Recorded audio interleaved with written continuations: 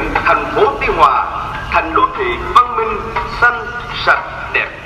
Hãy thực hiện nghiêm Cứ 5 giờ sáng, cả khu phố đều được đánh thức. cái tiếng nó to lắm với lại cái giọng nói nó cũng không có được êm dịu. Thì đúng là nó cứ nó, nó như xoáy vào tai. Phải nói là lớn tuổi cả ngủ nghỉ nó không thất thường cho nên rất là ồn. Buôn bán thì nhiều người nói nói qua nói lại thì cũng không có nghe với mục đích phát và tiếp sóng các chương trình phát thanh cũng như phát các thông báo cho người dân khi cần thiết, hệ thống loa đường phố được thành phố Tuy Hòa lắp đặt tại các khu dân cư. Đến nay đã là 32 cụm loa. Bên cạnh đó, còn có một lượng không nhỏ loa của các phường lắp tại khu dân cư. Hoạt động mỗi ngày khoảng 5 tiếng đồng hồ, từ 5 đến 7 giờ sáng, 11 rưỡi đến 12 giờ trưa, 5 đến 7 giờ chiều.